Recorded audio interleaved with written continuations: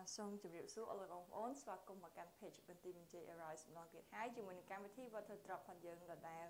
okay ថ្ងៃនេះដែរអឺយើងនឹងធ្វើការអឺចូលទៅបន្តមេរៀនផងយើងគឺនៅមេរៀនទី21ដែលនិយាយអំពី the Jesus oh no sorry of the birth of Jesus អូខេអញ្ចឹងកំណើតព្រះយេស៊ូវ okay អញ្ចឹងយើងបាននិយាយហើយតើថាតើកំណើតព្រះយេស៊ូវគឺ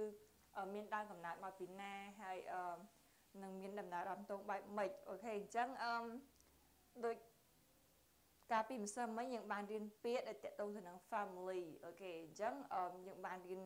ប៉ុន្មានពាក្យដែរកាលពីម្សិលមិញ okay ចា12ពាក្យ okay អញ្ចឹងដូចខ្ញុំប្រាប់អញ្ចឹងពាក្យរបស់យើងមាន24ពាក្យហើយថ្ងៃនេះដែរយើងនឹងធ្វើការបន្តរបស់យើងទៀតគឺចំនួន12ពាក្យទៀតដែលតកតងទៅនឹង family okay អញ្ចឹងអឺតែមុននឹងចូលគឺខ្ញុំនឹងសូម ធ្វើការរំលឹកមេរៀនរបស់យើងតិចសិនដើម្បីកុំឲ្យយើងភ្លេច okay អញ្ចឹងពាក្យដែលទាក់ទងទៅនឹងក្នុង My Precious Book ហើយនឹង Power Words មានពាក្យអីគេខ្លះចាពាក្យទី1គឺ appear okay appear appear គឺលេចឡើងចាលេចឡើងហើយ pregnant pregnant នេះគេចាមានផ្ទៃពោះឬក៏អឺមានកអូខេហើយមួយទៀត introduce introduce introduce គឺណែនាំឲ្យស្គាល់ឬក៏ណែនាំខ្លួនអូខេហើយមកពាក្យទៀត Christ Christ អូខេ Christ នេះមានគឺជាមិនមែនពាក្យទេ គឺជាឈ្មោះរបស់ព្រះគ្រីស្ទចាអញ្ចឹងគឺយើងប្រើបានថាព្រះគ្រីស្ទអូខេហើយមកពាក្យទៀត born អូខេ born born គឺ កើតអូខេកើត um and another word is government government អូខេ government គឺចារដ្ឋាភិបាលអូខេ and concealer concealer concealer ជាអ្នកប្រឹក្សាយោបល់ហើយពាក្យ mighty mighty ចាមានន័យថា strong awesome ចាគឺអស្ចារ្យអូខេហើយមកពាក្យទៀតស្មើនឹងពាក្យ forever ពាក្យគេអូខេ everlasting អូខេ everlasting everlasting គឺជារៀងរហូតស្មើនឹងពាក្យ forever មិញហ្នឹងអូខេហើយ prince prince prince opposite from princess or prince is a son of a king ចាអញ្ចឹង prince គឺជាព្រះអង្គម្ចាស់ឬក៏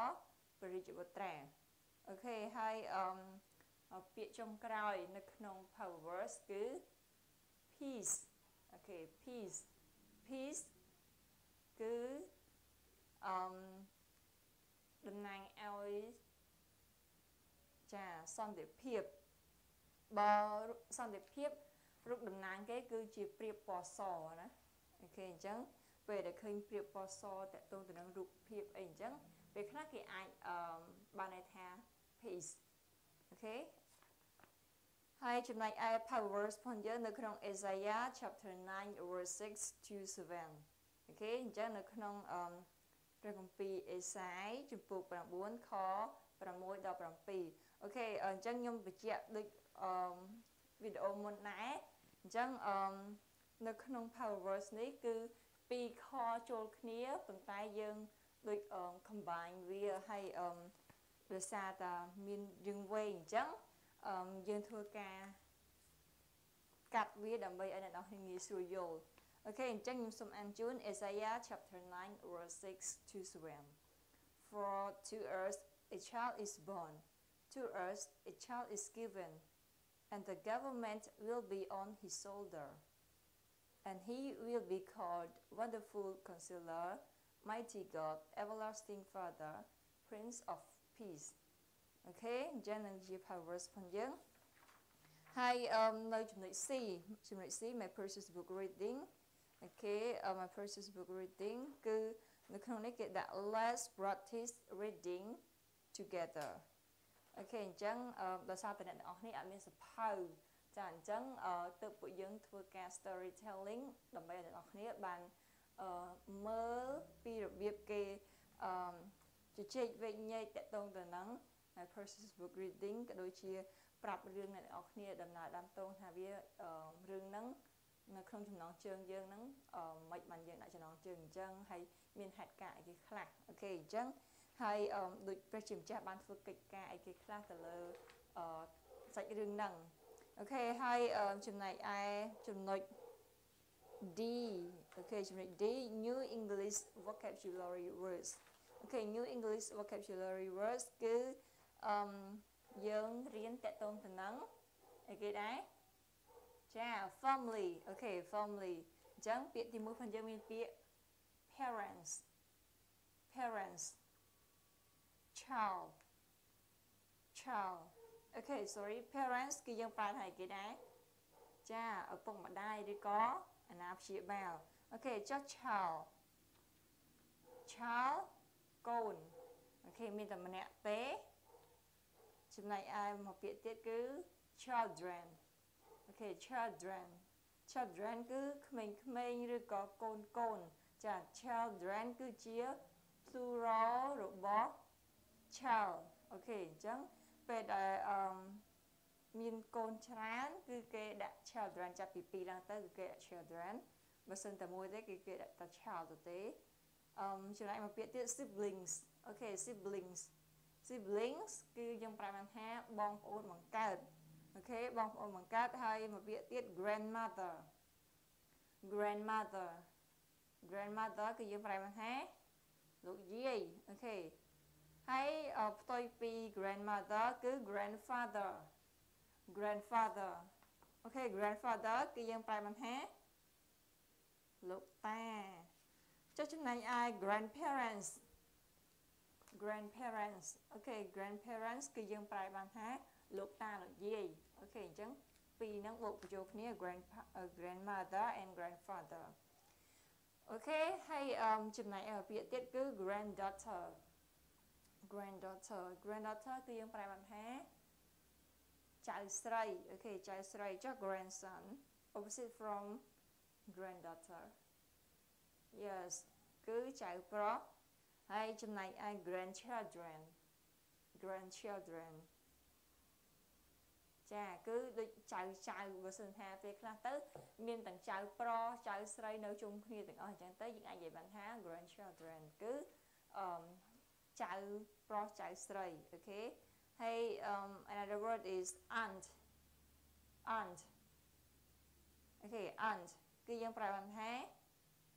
មីងចាអញ្ចឹងមីងបានន័យថាដូចគាត់អាយុប្អូនប្អូនម៉ាក់យើងអូខេអញ្ចឹងគឺគាត់ជាមីងផងយើងហើយចំណែកពី uncle uncle គឺពូ okay ពូអញ្ចឹងគាត់ជា ប្អូនត្រូវជាប្អូនរបស់ប៉ាយើង okay អញ្ចឹងពាក្យផងយើងការដែលយើងរៀនគឺអឺត្រឹម uncle ហ្នឹងអញ្ចឹងយើងនឹងចូលពាក្យបន្តទៀត okay 12ពាក្យទៀត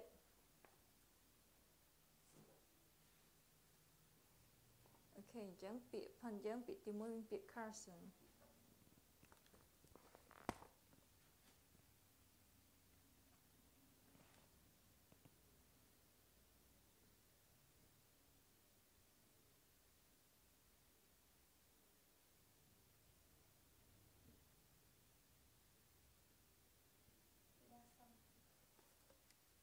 Okay, Jim, be a mean person, Nice.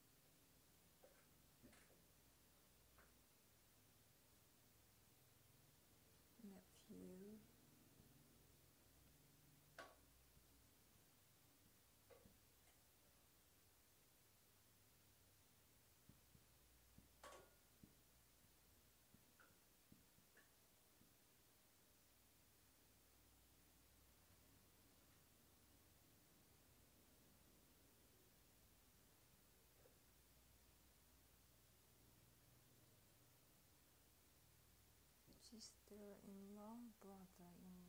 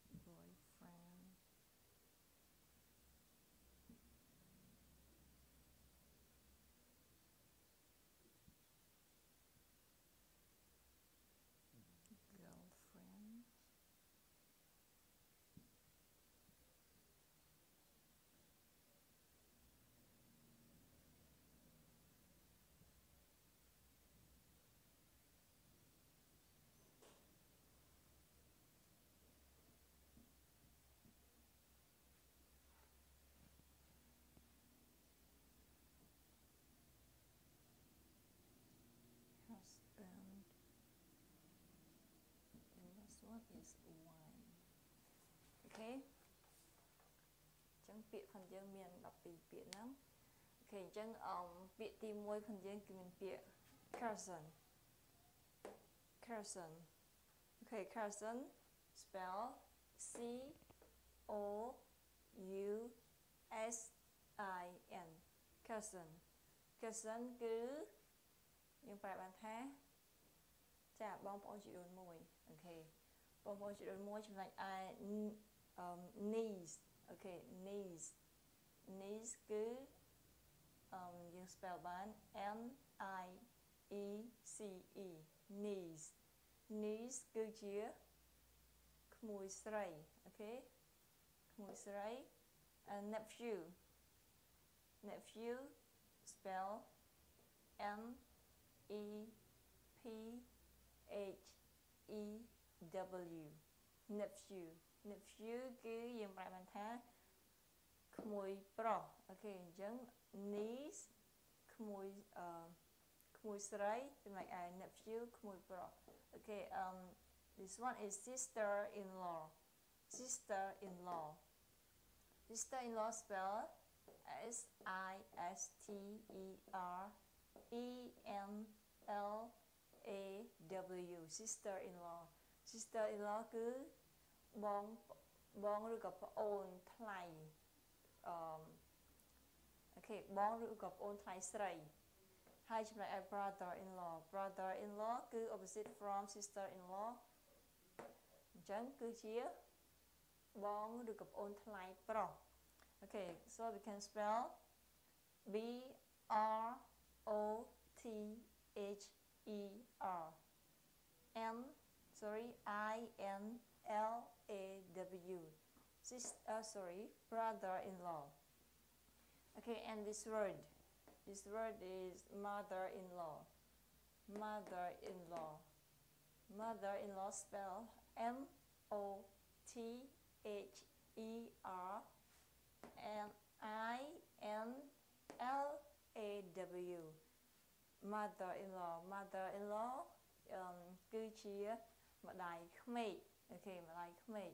ឬក៏ម៉ាក់ក្មេកហ្នឹងអូខេ and father-in-law father-in-law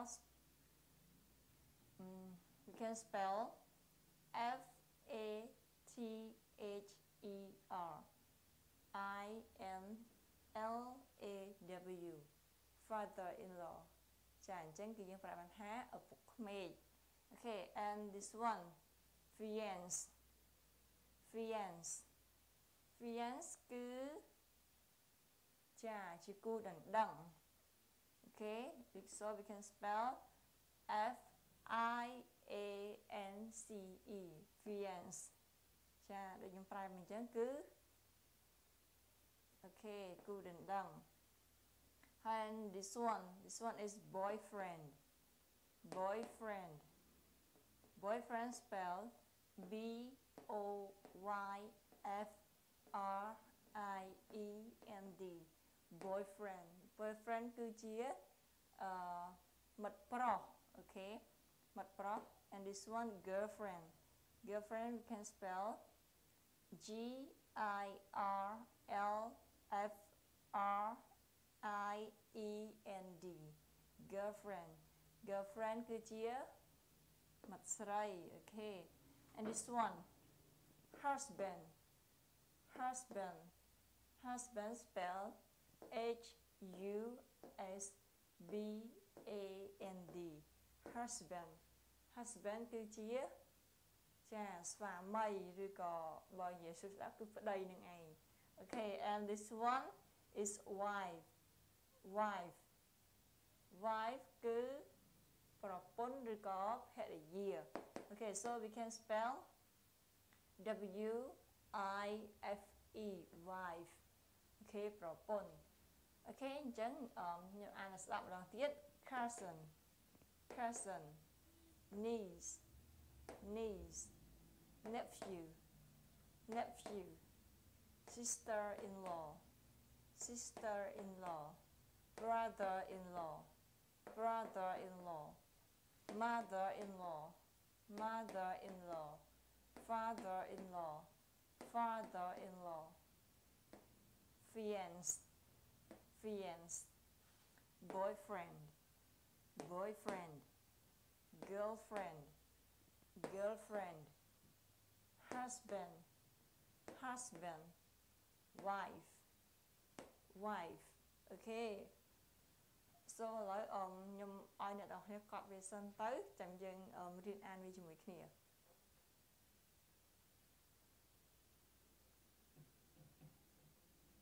ខេអញ្ចឹងពាក្យផនយើងគឺអមនៅក្នុងមេរៀនទី4នៅក្នុងមេរៀនទី4មានពាក្យ family ដែរអញ្ចឹងអឺបើយើងបូកចូលគ្នាតាំងពីមេរៀនទី4មកមកដល់មេរៀនទី21នេះគឺយើងរៀនពាក្យដែលទាក់ទងទៅនឹង family បានច្រើនហើយ okay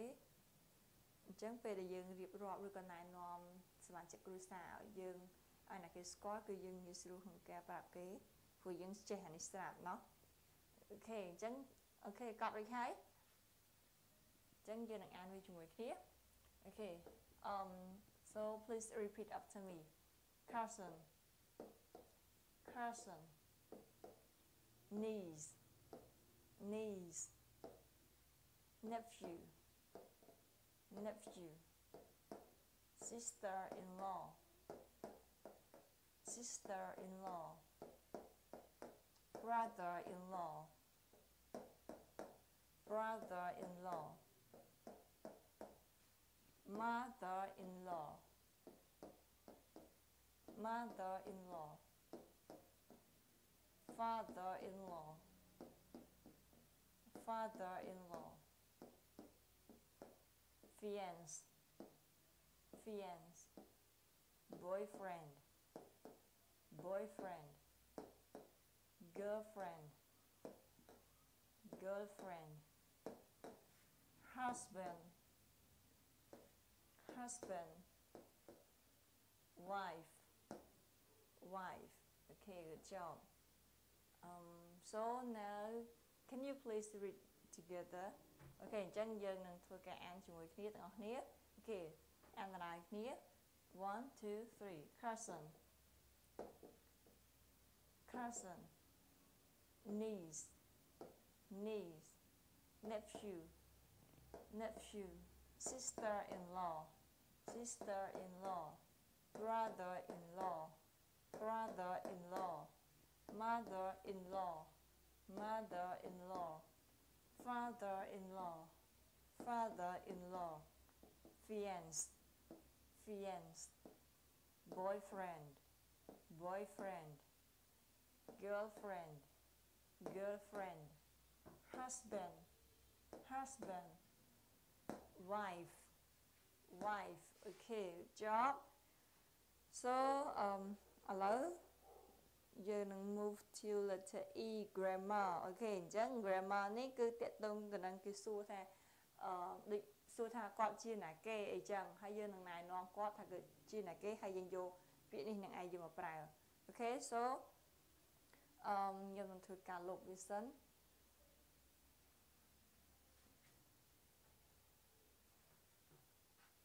អូខេអញ្ចឹងខ្ញុំនឹងលុបវាហើយចាំយកចូល letter to what letter E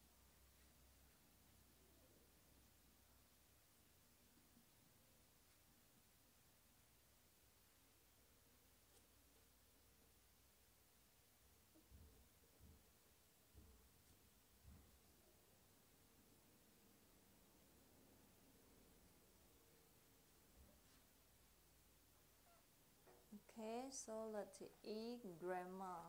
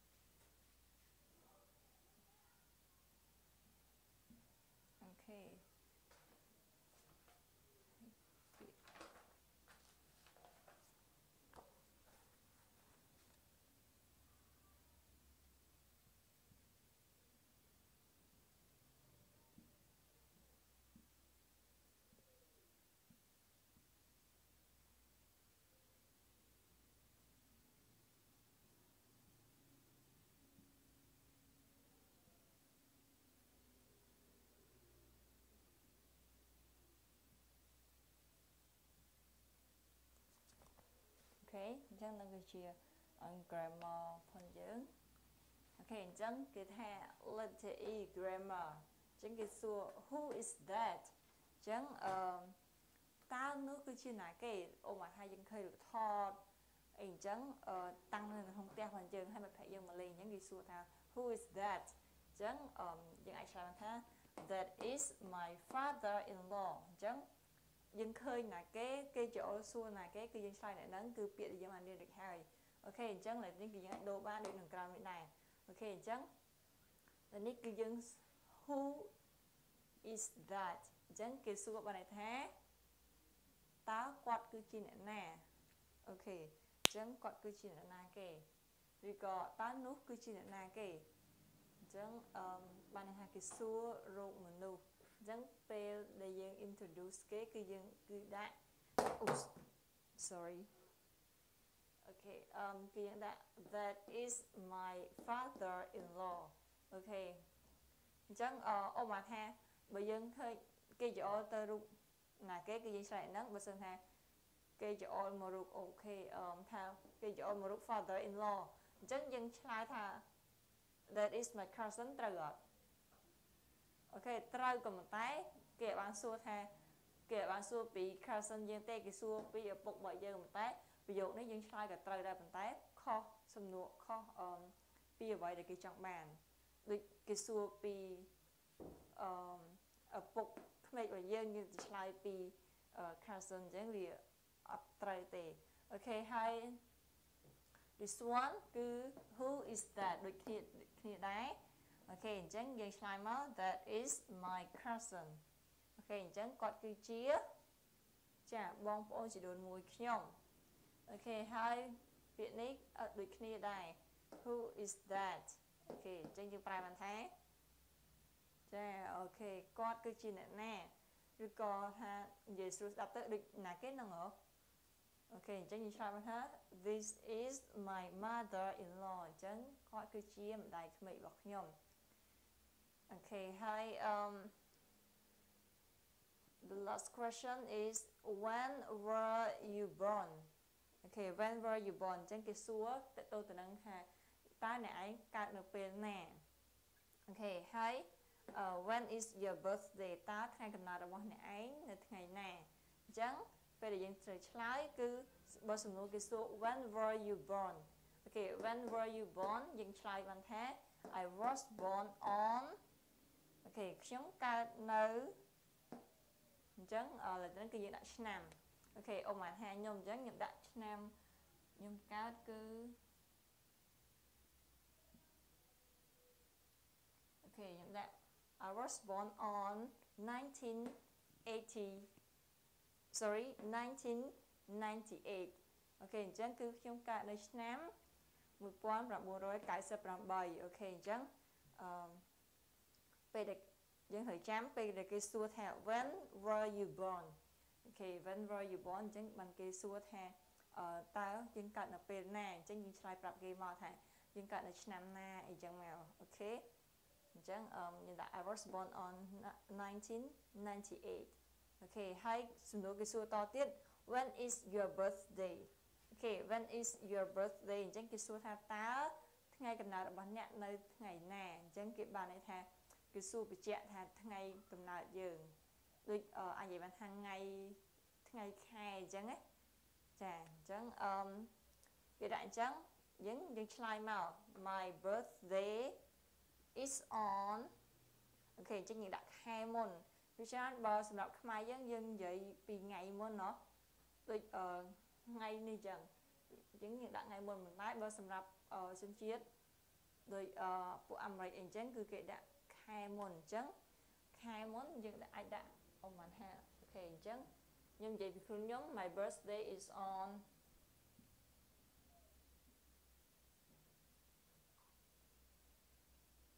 November 10អូខេអញ្ចឹងខ្ញុំដាក់ my birthday is on November 10អញ្ចឹងអឺយើងឆ្លើយបានថាថ្ងៃកំណើតរបស់ខ្ញុំគឺ នៅខែវិច្ឆិកាឬក៏អឺខែ11នៅថ្ងៃទី10អូខេអញ្ចឹងអឺនឹងគឺជារបៀបឆ្លើយផងយើងអ អញ្ចឹងបើគេសួរថា when were you born គឺយើងឆ្លើយបានថា I was born on ហើយប្រាប់ឆ្នាំរបស់យើងមកហើយបើសិនជាគេសួរថា when is your oh sorry this one is uh, like uh, okay when is your birthday តើថ្ងៃកំណើតរបស់អ្នកនៅថ្ងៃណាអញ្ចឹងយើងអាចប្រាប់គេពីខែថ្ងៃផងយើងកើតហ្នឹងមកអូខេអញ្ចឹងយើងឆ្លើយបានថា my birthday is on November 10អូខេអញ្ចឹងយល់បានទាំងអស់គ្នាណោះបើអូមកថាអ្នកនរគ្នាកើតថ្ងៃណាគឺដាក់ថ្ងៃហ្នឹងអត់មានយកប្រទេសផ្ដាស់ទេណាយកគេអូមកគេសួរមានការអីចឹងទៅគឺយើងត្រូវការប្រាប់គេអូខេអញ្ចឹងនឹងគឺជា letter E ផងយើងអូខេអញ្ចឹងអ្នកនរគ្នាកត់វាសិនទៅហើយខ្ញុំខ្ញុំរៀនអានវា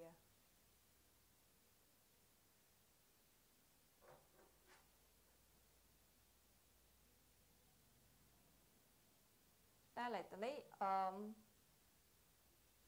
ឥឡូវទៅនេះគឺយើងអាចដូរបានណាអ្នកនរគ្នាកើតឆ្នាំណាគឺដាក់ឆ្នាំហ្នឹងខ្ញុំបញ្ជាក់ថាថ្មីអូខេហើយខែឥឡូវនេះគឺកើតខែណាគឺដាក់កើត ដាក់ខែហ្នឹងអូខេតិចបាក់គេសួរក៏រៀនរៀនបានពីអីដាក់នឹងរហូតមិនមែនទេណាបើគេសួរអត់មានថាដូចអូមកពេលខ្លះអ្នកនរគ្នាកើតឆ្នាំផ្សេងខែផ្សេងអីចឹងបើសិនគេសួរអត់មានឆ្លើយចេះដូចខ្ញុំទេ គឺចាថ្ងៃខែឆ្នាំពិតប្រកបផងយើង okay okay អញ្ចឹងយើងនឹងអានវាទាំងអស់គ្នា Okay please um listen carefully. Who is that? Who is that? That is my father-in-law. Who is that? That is my cousin. Who is that? That is my mother-in-law. When were you born? When is your birthday? Okay, I was born on 1998. My birthday is on November 10. Okay, Jung. Um, so now please repeat after me. Who is that? Who is that? That is my father-in-law. That is my father-in-law. Who is that? Who is that? That is my cousin. Who is that? Who is that? That is my mother-in-law. That is my mother-in-law. When were you born?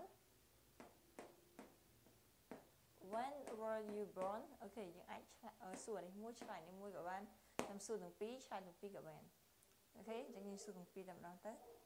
When is your birthday? When is your birthday?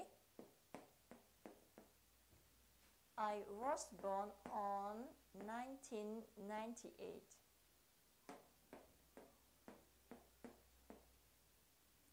My birthday is on November 10. Okay, good job. អូខេឥឡូវខ្ញុំសុំលុបវាសិនអឺ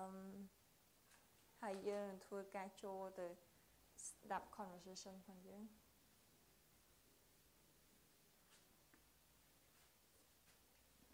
អញ្ចឹងចំណុចអឺ grammar នេះយើងយល់អស់គ្នាเนาะដូចខ្ញុំនិយាយប្រាប់លមុនលមុនអញ្ចឹងបើសិនជាយើងអត់យល់ទេយើងអាចពេលចប់ការ live video នេះគឺយើងអាចធ្វើការ comment សួរនៅខាងក្រោមវីដេអូតទៅឆ្ងល់ផងយើងហើយបើសិនជាថាអូមកថាខ្ញុំព្រានលឿនពេកអញ្ចឹងយើងអាចពេលដែលចប់នឹងហើយគឺយើងអាចស្គប់វាកត់មេរៀនផងយើង okay អញ្ចឹងអឺ now letter F គឺ conversation អូខេអញ្ចឹងអឺ conversation យើងដូចល្មុនដែរគឺយើងនឹងធ្វើការចូលទៅស្ដាប់ការសន្ទនារបស់អ្នកគ្រូរបស់យើង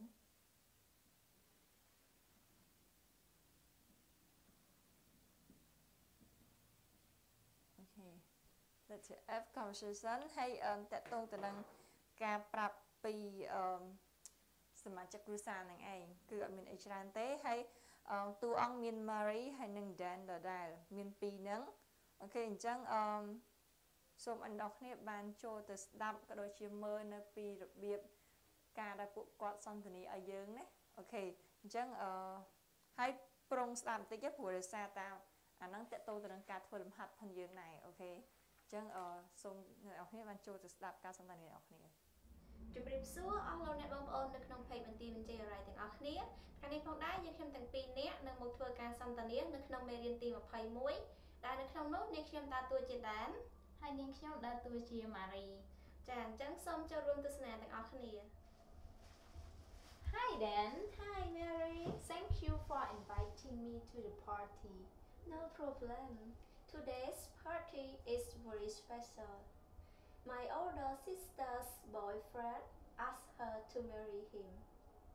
He is now her fiancé. My sister name is Alison. Her fiancé name is Tom. How wonderful! Your sister must be very happy. There are so many people here. Are all these people your family? Some of the people are from my family and some of the people are from my sister fiance's family. My grandparents are sitting over there. My grandma has gray hair and wears glasses. My grandpa also has gray hair and he is very tall. Idam? Yes, I see your grandparents. Who are the people next to your grandmother? The two boys are my cousins. They are with their parents. Their parents are my aunt and uncle. Who are the people sitting at the table? Those are Tom's parents. The woman in the red dress is Tom's mother. She will become my sister mother-in-law. The man next to her in the blue shirt, he will, the man next to her in the blue shirt, he is Tom's father. He will become my sister's father-in-law. Do you see the boy with black hair? He is Tom's younger brother. After the wedding, he will become my brother-in-law. I am so excited for your family. Thank you for inviting me to the party. I can't wait to meet everyone. I am excited too. Maybe next year my sister and her new husband will have a baby. Then I will be an uncle. I think I will really like to take care of my new niece or nephew. ខេយ៉ាងមិនដែរក្រោយពីបានស្ដាប់នឹងការតាមដានទស្សនានៅការសន្ទនាអឺដែលសម្ដែងដោយអ្នកគ្រូផងយើងពីរនាក់អូខេអញ្ចឹងគាត់បានដើរតួជា Mary ហើយនិង Dan ដែលតកតងទៅនឹង conversation គឺតកតងទៅនឹងអឺការដែលមាន party មួយហើយអឺ Dan ក៏រៀបរាប់ពីសមាជិកគ្រួសាររបស់គាត់ចាអញ្ចឹងគឺរៀបរាប់សមាជិកគ្រួសាររបស់គាត់គឺតកតងទៅនឹងពាក្យដែលយើងបានរៀនមុននឹងឯងអូខេអញ្ចឹង នឹងគឺជារបៀបប្រើប្រាស់ភាសាអង់គ្លេសប្រចាំថ្ងៃគឺតកតទៅនឹងអ្វីដែលយើងបានរៀនអូខេអញ្ចឹងមេរៀនរបស់យើងមានតែប៉ុណ្្នឹងទេថ្ងៃ sorry នៅថ្ងៃច័ន្ទណាអូខេថ្ងៃច័ន្ទយើងនឹងធ្វើការចូលទៅដល់ letter G លំហាត់ផងយើងដែលតកតទៅនឹង power verbs ហើយនឹង conversation ផងយើងអូខេអញ្ចឹងចាវីដេអូរបស់យើងមានតែប៉ុណ្្នឹងទេ ហើយសង្ឃឹមថាជួបគ្នានៅថ្ងៃច័ន្ទហើយអឺសង្ឃឹមថាអ្នកនរគ្នានឹងនៅតែតាមដានមេរៀនផងយើងអញ្ចឹងហើយអឺនឹងធ្វើការរំលឹកវានៅផ្ទះខ្លះដោយសារតែយើងអាចបានដូចរៀនផ្ទាល់អញ្ចឹងវាមានការលំបាកបន្តិចដែរអូខេអញ្ចឹងអអឺសូមអរគុណសម្រាប់ការចូលរួមសូមជម្រាបលាសូមព្រះប្រទានពរ